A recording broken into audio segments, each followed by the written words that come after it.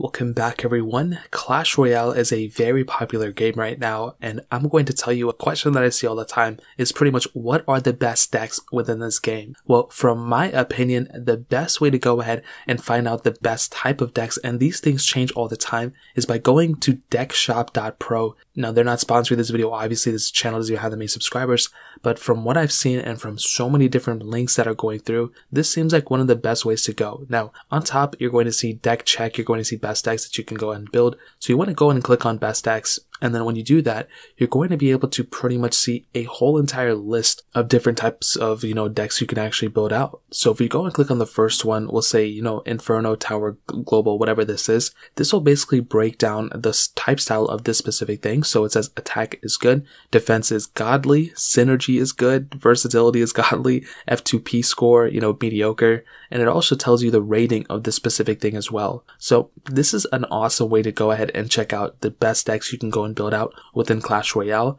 and it's totally online, so you can just go to this website.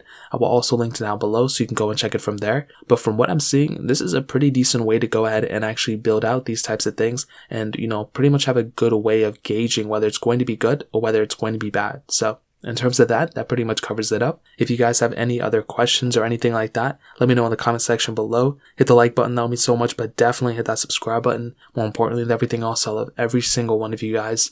Hopefully I'll catch you guys in the next video. Peace out till then.